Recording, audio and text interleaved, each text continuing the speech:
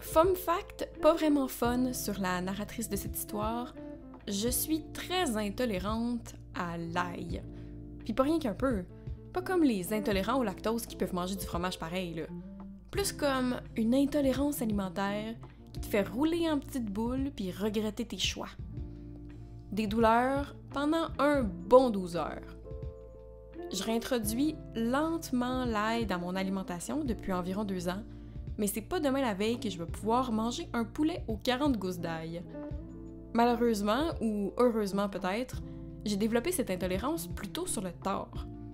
Jusqu'à à peu près une dizaine d'années, je pouvais manger de l'ail puis avoir juste un petit mal de ventre, rien de plus. Je sais donc que l'ail, c'est aussi délicieux qu'odorant, et je rêve parfois de pouvoir manger à nouveau au bar à pain du Pacini. Je suis ainsi tout le temps un peu sur une quête pour retrouver le goût de l'ail sans avoir la douleur qui vient avec. Il existe la safedita, mais ça n'a évidemment pas la fraîcheur ni la poigne d'une gousse d'ail. Les oignons, les oignons verts, les échalotes, c'est piquant, mais trop sucré. Mon meilleur remplacement jusqu'à présent? La ciboulette à l'ail. Allium tuberosum de son petit nom latin. On l'appelle aussi parfois ail odorant, ciboule de Chine ou ciboulette chinoise. Elle est originaire du sud-est de l'Asie et elle est beaucoup plus fréquente dans les plats et dans les épiceries asiatiques. C'est une plante herbacée de la famille des Amaryllidaceae. Elle est vivace au Québec dans plusieurs endroits, dans les zones 4-ish environ ou plus chaud, et encore plus bas si on la protège. Les herbes vivaces dans nos contrées froides, on aime ça. Le plant forme une touffe d'environ 1 à 2 pieds de haut. Contrairement à la ciboulette ordinaire qui fait des feuilles tubulaires, les feuilles de la ciboulette à l'ail sont plates. Bien que chez moi, cette ciboulette soit intégrée à mon jardin d'herbes, elle est souvent cultivée comme plante ornementale, soit seulement parce qu'elle est jolie. La ciboulette à l'ail forme d'adorables corolles de petites fleurs blanches. Ça fait de cette plante un très bon choix pour les plates-bandes comestibles. Cultiver la ciboulette à l'ail, c'est pas bien compliqué. La plante pousse assez rapidement, puis comme elle est vivace, elle va avoir plusieurs années pour s'installer puis grandir. C'est possible de planter les graines en terre aussitôt qu'elles sont mûres, à l'automne. D'ailleurs, la ciboulette à l'ail se ressème par elle-même allègrement si vous laissez les graines sur le plant. Il y a certaines personnes qui la considèrent même comme une plante invasive tellement elle se ressème. Sinon, au printemps, on peut planter les graines directement dans le jardin quand les derniers risques de gel sont passés. J'en ai planté quelques graines à l'intérieur, mais c'est vraiment pas nécessaire. C'était juste pour vous montrer de quoi ça va l'air quand ça pousse. Je préfère faire tremper les graines pendant 24 heures avant de les mettre en terre quand elles sont assez grosses pour être manipulées. Ça leur donne une petite chance de plus pour germer.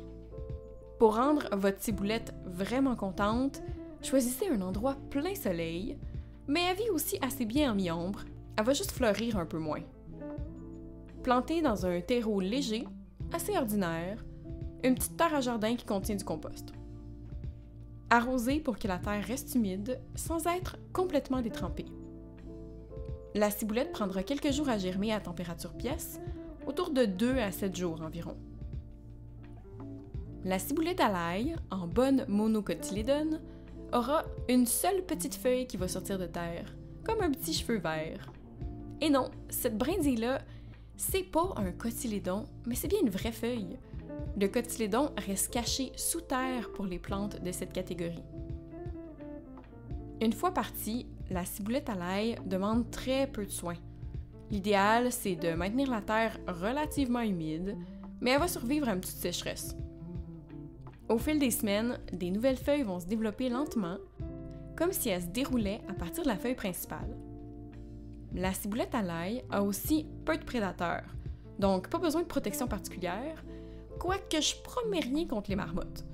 Ma marmotte locale est pas regardante, puis elle mange pas mal n'importe quoi qui tombe sous les moustaches. Si vous souhaitez faire pousser la ciboulette à l'ail dans l'objectif de la manger, attendez qu'elle ait au moins une bonne douzaine de feuilles. Si vous rasez tout trop tôt, la ciboulette à l'ail aura pas assez de feuilles pour faire de la photosynthèse, puis elle risque de pas survivre à sa petite coupe de cheveux. Certaines sources recommandent d'ailleurs de ne pas la récolter du tout pendant la première année, mais ça me semble un peu intense. Ma règle d'huître approximative, c'est de ne pas récolter plus que le tiers de la plante. Pour récolter, coupez les feuilles au ras du sol, comme avec la ciboulette normale. Les feuilles ont un goût justement assez similaire à la ciboulette, mais beaucoup plus mordant et rappelant franchement l'ail. La saveur est selon moi vraiment meilleure fraîche, hachée puis saupoudrée sur un plat en finition, ou intégrée à une sauce genre tadiki ou noix cham pour aller avec des rouleaux de printemps, c'est vraiment très bon. Les fleurs se mangent aussi. Elles sont à leur meilleur encore jeunes, avant qu'elles soient pollinisées et que les graines se forment. Comme j'ai récolté les graines cette année, j'ai pas mangé les fleurs et j'ai plutôt fait sécher les quelques hampes florales. On peut en faire de magnifiques arrangements de fleurs séchées. Oups, j'ai jeté quelques-unes de ces tiges, mais il m'en reste encore une toute petite mini ici. La ciboulette à l'ail fait des petits bulbes qui ressemblent pas mal à ceux des oignons verts. Ils sont toutefois très fibreux et pas très agréables à manger. La meilleure chose à faire avec ces bulbes, c'est de les séparer pour faire des nouvelles touffes de ciboulette à l'ail un peu plus loin dans votre jardin. Pourquoi pas en profiter pour en faire des petits plans pour donner à vos voisins et vous faire des amis gratuits. C'est pas mal fun ça aussi. On se revoit les mains dans terre, guys. Bye!